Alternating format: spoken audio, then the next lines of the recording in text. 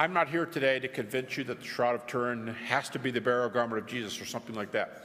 I'm interested in something a little more fundamental, and that's this. Dozens and dozens of pathologists and other authorities have checked this cloth, and, and basically, I think we can agree to this. The conclusion is if this cloth is not Jesus, at the very least, this is the closest you'll ever come to uh, crucifixion. This is the closest you'll ever see.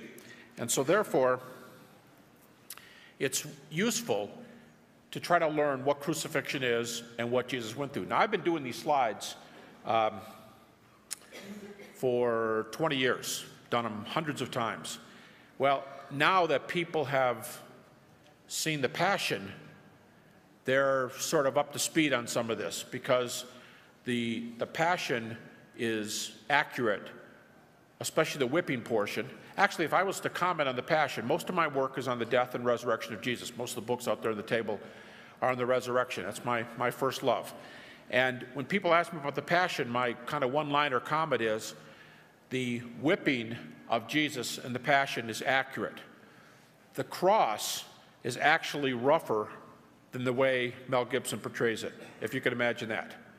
The, the whipping is, is right on, but, the, but as you'll see a little bit today, it's, it was a little bit rougher on the cross than just putting somebody up there and having the person be worn out and die. So, whether this is the burial garment of Jesus or not is not the issue. The question is, what is death by crucifixion? And there is obviously an aside here. Could this possibly be his burial garment? I'm going to go ahead and start with the slides right away. The shroud has been on display several times now. And if you were one of the millions of people who went to Turin, Italy, you might have stood in line for up to eight hours to see a picture like this one here. And you might think, I've been robbed. I've stood for eight hours and I'm looking at one of those Rorschach tests in psychology. I mean, seriously, I mean, how do you connect these dots? What is this? And this is supposed to be a man? And he's crucified. So, you know, you waited there for eight hours and you got your camera. And this, whatever it is, this is the most examined archaeological artifact on the face of the earth. More research hours have been put in on this than any other artifact. And so, you know, you're there and you take some pictures. And you get home and you get your film developed and you got this image in your mind of this, this uh, kind of wispy figure here, and you develop your film, and here's what you see. You say, well, that's not what I saw when I was standing there in line. But that's what your film says. Actually, the image on the shroud is a quasi, it's a type, of photographic negative, and your picture is actually the positive. And this is the image of a man who's lying on his back, his hands are crossed, he's been mutilated in a hundred different ways, as we'll see here in detail. But the, the shroud is, was caught in a fire, actually, in the 16th century. It was just caught in a fire recently. So you have to get used to seeing those burn marks. The shroud was folded up like a bedspread, and when the molten silver came through the uh, cedar chest type deal it was in, um, it burned through the cloth. So what's going to happen here is I'm going to contrast on your left is the shroud as it appears to the naked eye. On your right is your photograph when you get home. Here's the face. On your right, what you would have seen when you stood in line. On the left, what your, what your camera says. And notice that there's a right-left reversal, and notice there's a light-darkness reversal. Some funny things are going on when you photograph this. For example, look at that three, number three shaped blood stain on the forehead of the man in the shroud on the right. Notice the number three shaped blood stain. You go home and you develop your pictures and look over on the left, it's backwards. The number three is backwards. And the dark spots on the shroud image, the bridge of the nose, the mustache, the beard, and so on, are now light on the left. So there's a, there's a left-right reversal, there's a lightness, light-darkness reversal. And right away, I mean, that doesn't make this a miraculous object, but it makes it a rather strange uh, object of, of study. Well, how long has this been around? That, this question is probably the one I get more than any other question. This is a 16th century painting, and it's pretty accurate. This shows you how the man in the shroud is buried, and you can see the ladies there weeping in the background, and up above, angels are holding the cloth open, and you see that image. There's a double head to head image of the man in the cloth. The cloth was wrapped lengthwise around his body from head to foot, and therefore, since it was wrapped as you see on the bottom there, when the cloth was opened, you have a frontal image and a back image. And if you've been keeping up with the uh, information just a few months ago, they discovered that there's a, a lighter image underneath on the inside of the cloth and another image out on top. There's a, there's a second image that goes, whatever this is, goes right through the cloth. And we're going to talk about some of these characteristics. First of all, let's talk about a little history. You saw the 16th century painting. I'm going to show you a few paintings of Jesus, and it is long thought that scientists down, uh, sorry, artists down through the centuries thought they were painting the face of Jesus. That doesn't prove anything, but it proves that they thought they were painting the face of Jesus. All right, take a look at that triangle mark between the eyes. Uh, that is not from the shroud. The little double wisp of hair. Notice the hair is parted down the middle, goes down both sides. And uh, the beard, the beard is double pointed. Notice on the left, notice the, the triangle between the eyes. Notice the hair comes down. Now notice the wrinkle going across the cloth on the left. It looks like the beard ends there. It looks like it's double pointed and it's off center. Notice the middle of that point, if that's what it is, is to the left of the nose. All right, look at the painting over here. Notice they got a double point on the beard. The point is off center. They got the triangle between the eyes the little wisp of hair on the forehead. The eyes look abnormally large in the shroud. We'll talk about that a little bit later. So the artist makes the, the eyes abnormally large, long, slender nose, and it looks like the artist wants you to think he's copying the face of Jesus, and that's this. But actually, the beard goes down to the second line. You're going to see this a lot more clearly later. The beard goes down to the second line, and so what's the artist do? He puts a line going across Jesus' neck, down below the beard. You see that? There's two lines underneath the beard because he doesn't know what those lines are. And so this, he, he thinks he's painting Jesus, and yet he's wrong about the beard, but he thinks he's being accurate. That's what's so interesting here. Same thing. Notice the line underneath the throat? They put a second line for the beard, but he cuts the beard off up above. The long, thin nose, the large eyes, that triangle between the eyes, that's a wound or a mark on the cloth. The same two little wispy marks of hair on the forehead. The hair is split down the middle, going down each side. They think they're painting the face of Jesus. Doesn't mean they are, but down through history, this is the most copied image. Notice if you just start going down yourself over the checklist, you see the hair parted down the middle, the triangle shape between the eyes, the very large, abnormally large eyes. He's got that double pointed beard. Uh, notice he's got bruises on the cheeks because when you go back to Jesus' uh, what, they, what he thought was Jesus on the cloth, he's got bruises under his eyes. So he puts bruises on a living Jesus, a pre beating Jesus. So they definitely think they're painting the face of Jesus here. Before I go to this slide, uh, let me just tell you that there are two little Roman coins from just before and just after 700. And these coins are the first coins we know of with the face of Jesus on the coin. And around the Roman coin, it says King of Kings and Lord of Lords. A friend of mine just purchased an actual, I mean, they're rare, but purchased an actual coin. And these two faces, faces on two coins, are copied off the shroud face. How do you know that? Because if you have two pictures of somebody, let's say we've got your high school photo and somebody who looks like you just robbed a 7 Eleven. So they take a photo from inside the store. The nearest photo they have is your high school photo. They have to have X amount of points of similarity to say this is the same person. I've been told they need about 40 connection points. Between the face on the shroud and the faces on these two coins, there's between 70 and 200 connection points. There are paintings in Ravenna, Italy, and in St. Catherine's Monastery on the Sinai Peninsula that look the same way, look very much like they're copied off the shroud face. So it looks like somebody from history thinks they're painting the face of Jesus. Now, in 1978, my co author in a couple shroud books, uh, most of the photos you're going to see are from the 1978 scientific investigation. Circle obviously is put here around the right eye of the man in the shroud. Through image enhancement, a number of the scientists believe they can read what's under these eyes. Now, let me first show you a lepton, uh, a coin from the first century. You see that staff in the middle and some Greek lettering around the edge. On your left is another lepton, and it's a little bit off the slide, but down there in the corner is a little guide what you can look for. But look up on your right hand. That's the right hand side is the man in the uh, shroud's eye. And look around the edge. See up at the top, U, C, A, I. You see those letters? U, C, A, I. And there's some other little squiggly marks on both sides. They are now up to seven letters. These are, you can see four right there.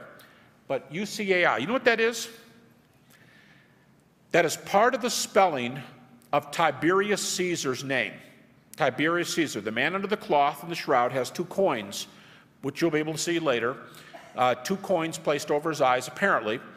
And this is the lettering from one of the coins. And that is the name Tiberius Caesar. And you know what you're looking at? What kind of coin this is? This is a lepton of Pontius Pilate. Thank you. We were looking for one of those earlier. Appreciate that. There's the U, C, A, I.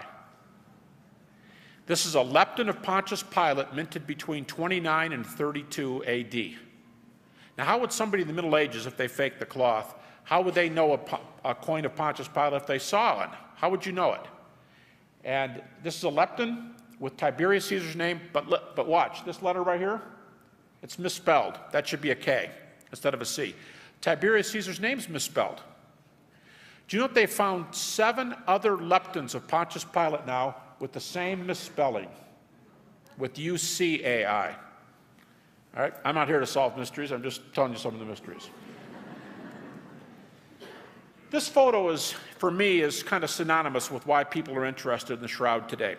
This is the group of scientists gathering in the cathedral in Turin, Italy, 1978. Seated on the chair there is probably the chief shroud researcher, John Jackson.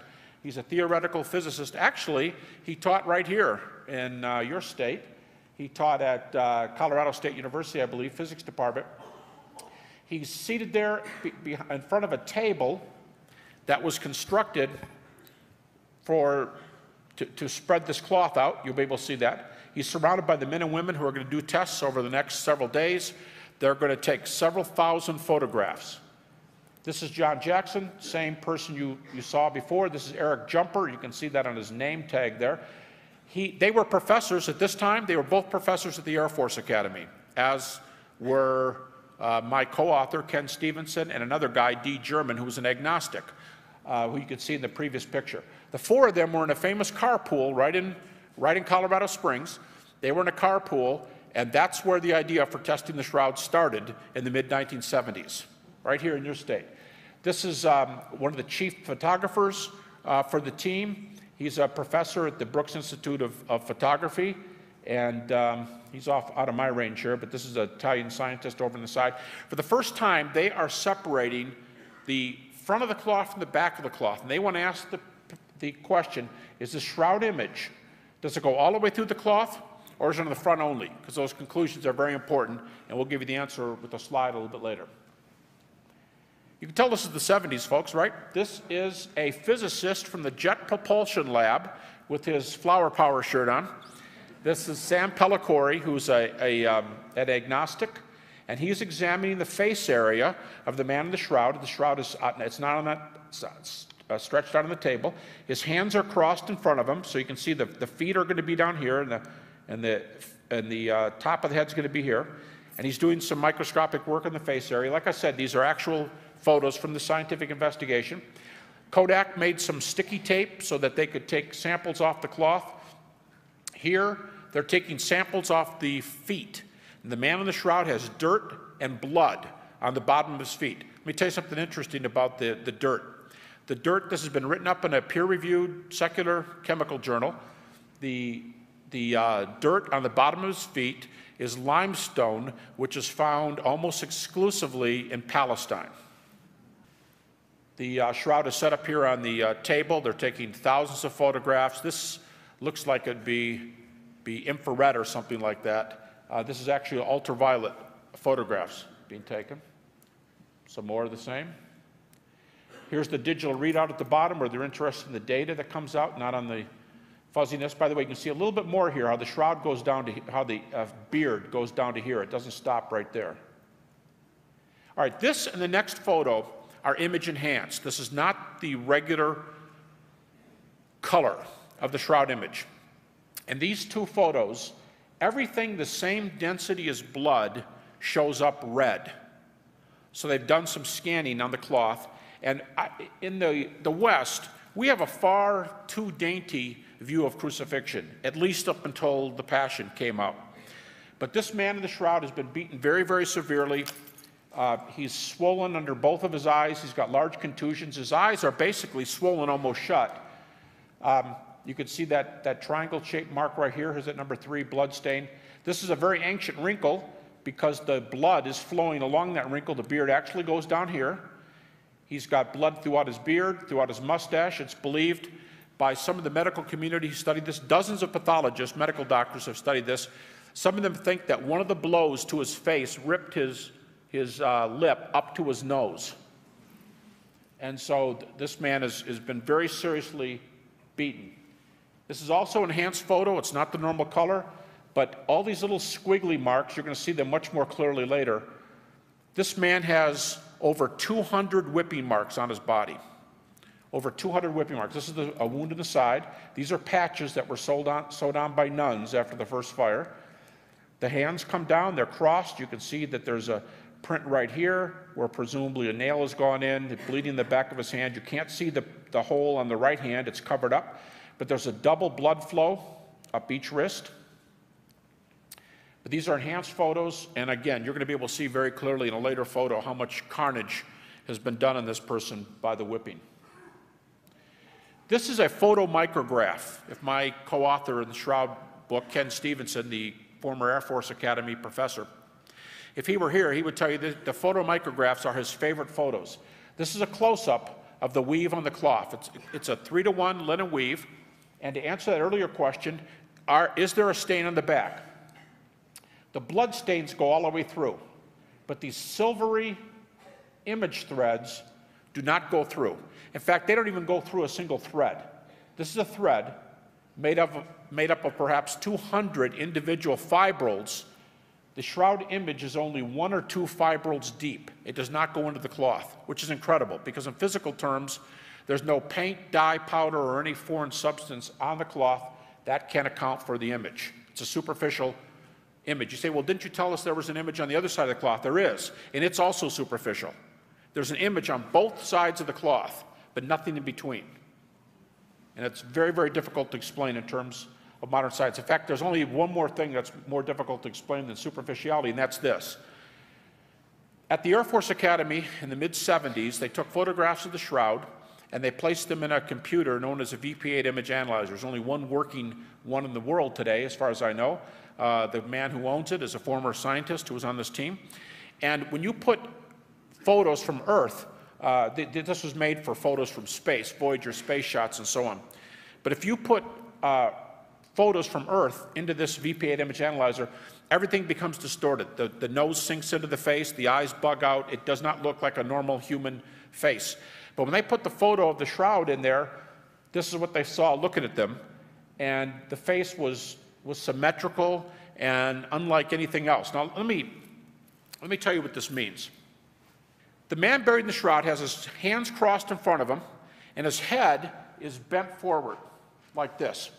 He's in a state of rigor mortis, and his body is starting to return to the pre death state. His left leg is popped up like this, so the knee is up in the air. And the cloth, you can imagine, would drape over the high points of the body. That's why it looks like the eyes are large. The nose, the, the cloth would drape over the forehead and the chin, but it wouldn't be on the ears. It would be on the chest, but not on the throat. The hands are crossed like this, so the cloth is going to drape primarily over the left hand. The left leg is raised, so the cloth is going to be over the left leg and not as clearly over the, the right knee. And yet, when you see the image, they are all equally clear. It doesn't make any difference if the cloth is sitting right on it or if the cloth is over top of it. Whatever's created the image on the cloth traveled across space to make that image on the cloth. And so the 3D image, I've got a couple other pictures. The 3D image is a side view of it. The 3D image gives you a cloth to body distance. That tells you how far the cloth was from the body, but also tells you that whatever made the image leaped through space. The last one here is turned sideways, so you're going to have to imagine what that looks like, but so I'll return to this one. Um, and whatever created the shroud image, this is the most difficult thing to, quote, fake from the shroud. Now, I told you the cloth was wrapped this way around a body. So when you open the cloth, what would you folks expect? This man is about 5'10, 180 pounds. He's in good physical shape, as you'll see in a couple later photos. But he's got 180 pounds lying on this cloth. Do you think the back image would be darker, or the, do you think the top image would be darker, which simply is laid on top of his body? The back image would be darker, right? No. But neither's the top. Both images are equal. The image on the shroud is independent of, of body weight, it's independent of what touched the body. Whatever it is went through the cloth and left an image. All right, if you're familiar, how many of you have seen The Passion? Last time I gave this lecture for stealing the mind, I couldn't ask that question. This, this is a, an artist's uh, reconstruction of a flagrum. One has actually been discovered in Pompeii. And on the end, it seems like the man in the shroud, there's different ways, different kinds you can, uh, different things you can attach to the end. The man in the shroud was apparently beaten by an instrument like this with dumbbell shaped pieces of lead affixed to the rawhide. They even believe, scientists believe, that the edge of the lead was sharpened so that on contact it was designed to gouge human flesh and it would rip through anything. It would not just rip through skin and through muscle, but it would tear, um, I, mean, I mean, really anything. It would, it would rip nerves. And so you can imagine the incredible amount of pain. This is just an artist's drawing on the, on the right. But on the left, this is a close up of, of the back wounds of the man in the shroud. And this is his back. Of course, it's, it's large. You're going to be better off. Look at, the, look at the side ones over there because that's more to scale. And you can see how much damage has been done. As I said, by best estimates, this man has 220 whipping marks on his body. I say by best estimates because I have to do some estimating where the burn marks have gone through. So they, they try to say, they look at this area and, and give it about the same kind of rating. This blood across the waist is actually from the chest wound, the right chest wound that flowed down the chest and then around the back, presumably when the body was laid down and buried. But that's the, the chest wound with the uh, blood and water, both of which are, are uh, visible there, growing across the waist. Here's the, the four wounds most regularly associated with, with crucifixion. And it seems that the man in the shroud, this is from the shroud, you could do this a lot of different ways, had his foot crossed over the other one with a single nail holding both. And it seems that the nails are in the wrist. When you say, well, doesn't the Bible say Jesus was nailed to the hands? Actually, the Bible doesn't say that. In the crucifixion accounts, all it says is, and they crucified him. The only time we know about the nail prints is from the resurrection accounts. And he shows them his hands and his feet. You say, well, okay, fine. Wasn't he nailed to the hands? Virtually every, I know one exception of the dozens of medical doctors who've looked at this, they've said the man in the shroud is nailed to the wrist. You say, well, so much the worse for the shroud. Actually, these medical doctors believe that all crucifixion victims had to be nailed to the wrist because in normal circumstances, a nail placed through the palm would rip out, whereas one placed here would easily hold an adult male. You say, well, okay, but still, you're missing the point. Doesn't the New Testament say he was nailed to the hands? All right, maybe you've heard your pastor say that many times Greek is more accurate than English, four words for love and so on, but this is the opposite. The Greek word for hand is not a very exact word. In fact, there's no Greek word for wrist. And so everything you see sticking beyond my shirt sleeve is called hand in the Greek. In fact, one time in the Greek Old Testament, the word is used and it's the upper arm. So it's, it's not a very accurate word. It means an appendage. And so to, say, to use that word does not tell you where it, uh, it's been nailed. And by far, most New Testament scholars and medical doctors believe the nails were placed right here in the wrist, right about where, where you see that in the, uh, in the drawing. This, this picture's flipped around. You know, it depends on whether you're talking about the original or your photograph as to whether it's left or right. But in the shroud, that's the left hand you're looking at. Let me tell you something very, very strange about this painting. I mean, painting. That's a, that was a snafu. Um, this photograph. Notice how abnormally long the fingers look? It looks like this is way, way longer than fingers would normally be. Years ago, critics said, they said, uh, look at that. It's, it just doesn't, it doesn't look, uh, doesn't look human. You know what you're looking at? The latest theory on the composition of the image is that it was caused by a couple of different kinds of radiation. This looks like it's going all the way through the hand. You're looking at the knuckles here. You're looking at the back of the hand, and you're seeing the finger bones back in the hand which makes it much longer. And a little bit later, I, I want to show you a picture, that, uh, a slide that's even more incredible, but just keep this one in mind. Uh, what you're actually looking at here is something that's more like an x-ray. You say, well, I mean, how scientific is that? The last time I was at a Shroud conference, the two men who were speaking most about x-rays, one of them, a retired medical doctor from Duke Medical School, the other one, the head of, head of radiology, UCLA. So we're not talking about some, you know, fly-by-night kind of, of view here. Here's an artist's conception of where the spear went in the side. If, uh, if this is accurate, I mean, for the man in the shroud, it's accurate, but if this is typical of what they did, the spear most likely entered between the fifth and the sixth rib through the right pleural cavity and into the heart. Around the heart, there's a sac. It's called the pericardium, and it holds a thin, watery substance. And so when we're told that when they withdrew the spear, when the Roman soldier withdrew the spear, blood and water came out, by far the most likely explanation, according to medical doctors, is that the blood came from the heart and the water came from the pericardial sac that surrounds the heart. And on the shroud, there's about a half dozen evidences that this man is dead. We talked about one earlier. Uh, he's in a state of rigor mortis. Here's another one because the, the chest wound shows not only blood, but a watery serum that's even more visible on the back where it flowed across the waist. Now, I usually, when I get here to, down toward the end here, I have a checklist to see if I've, I've uh, covered things. This one might be kind of hard for you to see, but my second slide was a close up of this. Besides the x ray looking fingers, up underneath the chin, right there. I was showing these slides with a medical doctor. Uh, a couple times I had doctors in the front row, and one of them said, Hey, go back to that slide. And so I want to see something. And you can see, I, am not, I didn't discover this. I mean, this is out there, this is in the literature.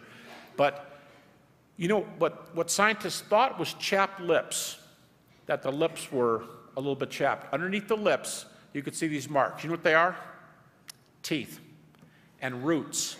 You can see the teeth and the roots going down into the, into the chin. Whatever created this image not only went, appears to have gone through the hand to come out onto the cloth to get this part back in here, but also coming up through the body, leaving the teeth imprinted on the cloth inside out, the roots and the teeth. The medical doctor from Duke, the retired medical doctor, said 23 teeth are, are visible through the lips. Now, this is pretty incredible. And when you throw in here that this shroud has been, now I'll, I'll give you the big knock on it. The shroud was dated, carbon dated 1988 to be medieval. Um, a lot of you mis mistrust carbon dating for a lot of reasons. But I'll also tell you that there was a private dating in the shroud that didn't make the press. It was dated in 1982. And you know what the two dates were in 1982? 30 AD plus or minus, 70 AD plus or minus. So we're not talking, you know, faith versus science. If you say, oh no, this has got to be Jesus, but you got a medieval date here, how about just doing the, the dating alone? You've got a medieval date, and the medieval date was not taken from the image area. It was taken from the, the most contaminated side area of the shroud. And now the most popular theory is what they actually dated in 1988 was a medieval sew-in patch. The 1982 dating was taken from threads from the image area, and it came out to 30 and 70 AD, plus or minus. Folks, I'm not here today to tell you that the uh, Shroud of Turin has to be the burial garment of Jesus. I'm not telling you that it's, it's got to be. You know, it may be, may not be. I know one time I was uh, giving a lecture on a university campus, and a young lady came up to me, and she said, she said, the problem with Christians is that we take Jesus' death too much for granted, and especially his suffering. Now, it's hard to do that after the Passion. But she said, we take his suffering too much for granted.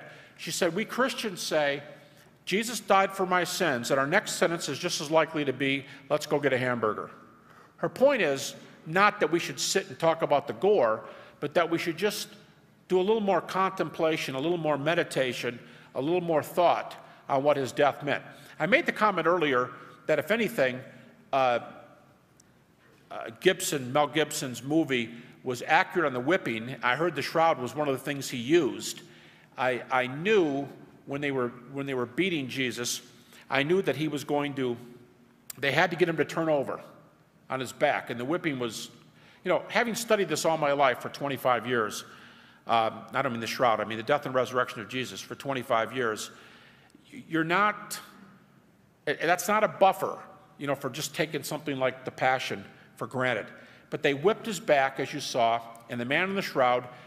The man in the shroud is whipped. I told you over 200 times, 200 marks. He's whipped on every inch of his body, with the exception of his face, which was severely beaten, with the exception of his face, right here in his forearms, and his feet. Everything else is whipped with the flagrum. But on the calves of the man in the shroud, the calves are whipped. And pathologists who study the cloth are so careful and able to tell so much from this cloth, they can tell that at least two men did the whipping. One was significantly taller than the other one, and one of them was left handed. That's how much they can tell from the pathology. I mean, you know, you know, you know CSI and the old Quincy program, and how if you're going to kill somebody, don't leave a fingernail around because they'll track it to you, and things like that. Uh, science is pretty specific today, and they can take this cloth and find out a lot about what's happening. But I made the comment that while the whipping was accurate, and I knew he was going to have to roll over or something to get his chest because the man in the shroud is whipped all over his body, the cross is actually much worse than the movie said because according to most medical doctors, it's not unanimous, but according to most medical doctors, death by crucifixion is basically death by asphyxiation. And when you hang in the down position on the cross, the weight of your body pulls down, and what I'm going to describe to you can happen on the monkey bars if you can hang on long enough. But in one uh, German experiment, there's a couple medical doctors, if you can believe this, medical doctors who've asked for male volunteers to be crucified. Now, he, they're going to be real nice to you because in the one experiment, they use seat belts for the wrists, not nails. it's like, Doc, I came in here for the flu. I didn't really be, expect to be nailed to a and they used cups to inserts for the feet. And in one experiment in Cologne, Germany, the men were simply tied to two by fours. They were simply tied to two by fours. They passed out. They passed out in a maximum of 12 minutes. In 12 minutes, they were unconscious. You think, well, how does that happen? I mean, Pilate was surprised Jesus died after six hours because in the German experiment, their feet were not affixed to anything, they were hanging. But if your feet are nailed or tied, what you can do is you push up on those nails, you pull up on these nails, and you worm your body into a different position. This, is, this was the most common one in experiments. It's hard to even, I, if I do this, I can't even talk. Things happen to your lungs when you do that. And with the weight of your body pulling down on those muscles, the same muscles you exercise, the intercostal, deltoid, and pectoral muscles, with the weight of your body pulling down, they constrict on your lungs. And you can breathe as long as you can push up and stay up. But the weight of your body's on those nails, it's horrific pain, gravity pulls you down, and you slump back into this position again. The minute you slump down into that position, you begin asphyxiating.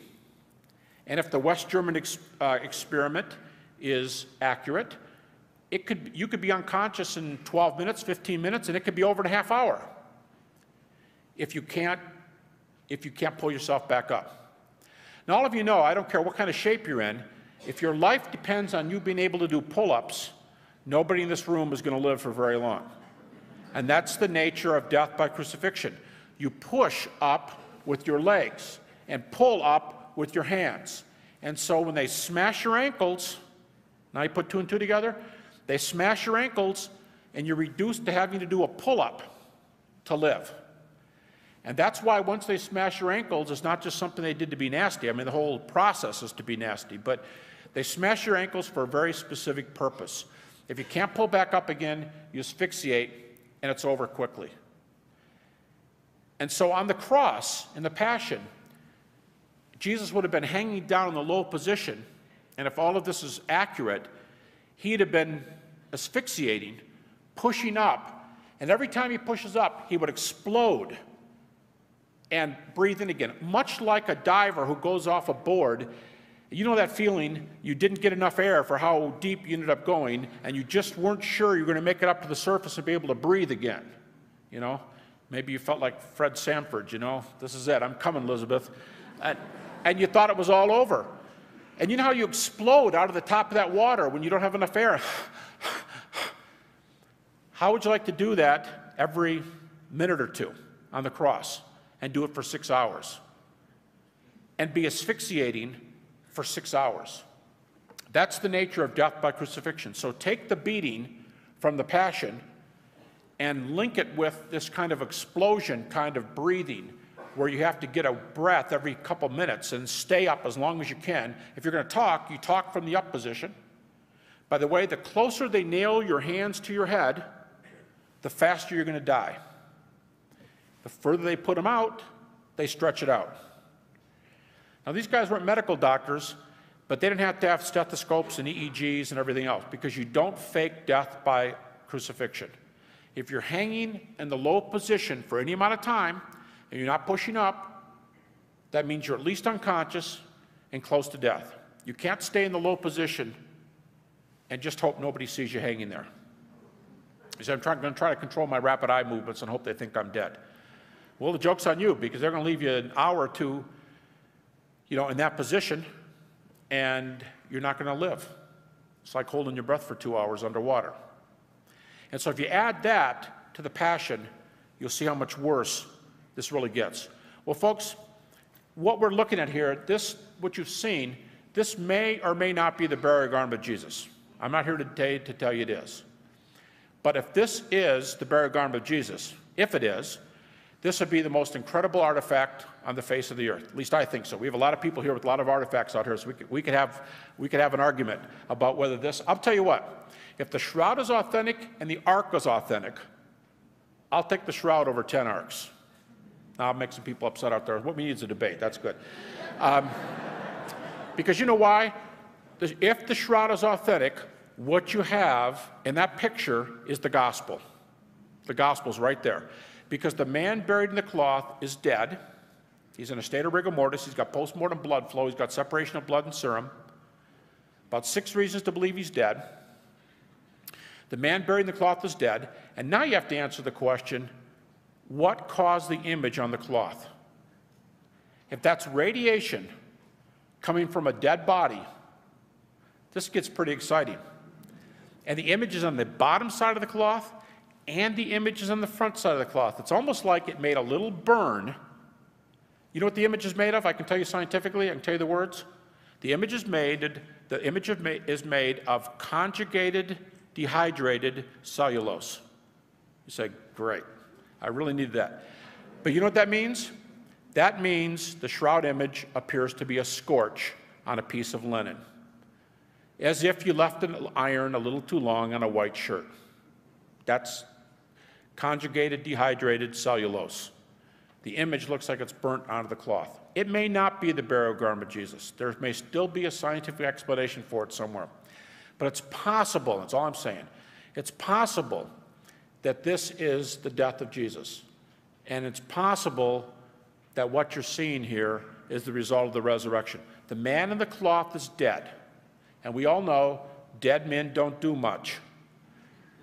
But there's an image on the underside and on the top of the cloth. This is not a normal man. Something is happening to this man. And some have even said, I try to avoid bombastic sorts of things, so I'm really kind of trying to play this down. But some have even said that the shroud image is a photograph of the resurrection of Jesus. It is a photograph. We started with that. The shroud image is a photograph. And it may be a photograph of the resurrection of Jesus. Could be. Maybe it's not. But here's the follow up point. Let's say it's not. Even if it's not Jesus, medical doctors say it is very, very accurate. At the very least, it's the closest picture we have, closer than the Passion. This is the real thing. Somebody was crucified. Whatever the shroud is, it at least is the shroud of a man who was crucified. And so, therefore, we learn a lot about crucifixion. If it's not Jesus, we still learn what Jesus went through. And my, most of my things on the table out there about the resurrection. I've 50% of all the books I've written, of the 26 books, 11 of my books are on the resurrection. I specialize in the resurrection of Jesus. I'll tell you, folks, with all the evidence from the shroud, the evidence for the resurrection is stronger. The historical evidence for the resurrection is stronger than the shroud data. We have more evidence for the resurrection than you need to show it occurred. Some exciting things are happening today. Have a good afternoon.